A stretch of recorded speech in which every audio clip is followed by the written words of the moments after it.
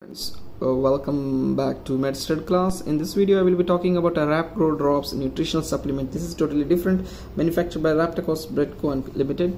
It comes as a 10 ml pack. Mm, the contents are uh, each nutritional, each ml uh, provides 7.97 uh, ca- kilocalories, which is very good. Like uh, oil, especially oil gives one gram of oil, gives fat, gives uh, 9 kilocalories. So it's like same. Fat 0.95 grams, proteins negligible, and the carbohydrates are negligible. And DHA it has a 40 mg. Well, the main in- ingredients of this is you can see over here is a medium chain triglyceride MCT. We do get different other brands MCT oil, MCT oils. Both are same.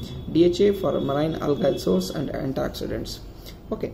The what is the uh, this one what do you call um, why it is used is used to uh, increase the weight especially in the preterms and the term babies especially those who are not gaining weight clinically well. But but but never used by yourself. Always ask your pediatrician for this and ask for the dosage because clinically it has to be seen by the pediatrician whether he requires or is there any uh, to be side effect of this on this kid okay?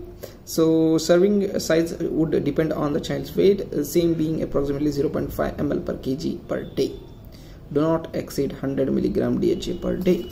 So whether better you should uh, consult your uh, this one what you call pediatrician for the dose it is mixed with the food also. It can be given with the food. You can give it directly into the mouth. Vertical through a dropper. It has a dropper and this comes as a it comes as a plastic bottle pink colored. Okay the same contents have been mentioned over here. Uh, rap grow Raptakos and Brett they are involved in making lactodex and other nutritional products it comes as a 10 ml packs and uh, best before 18 months from the manufacturer okay?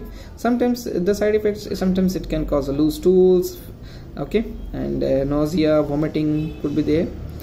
Uh, so remember better consult and use okay guys? Thank you so much. Take care bye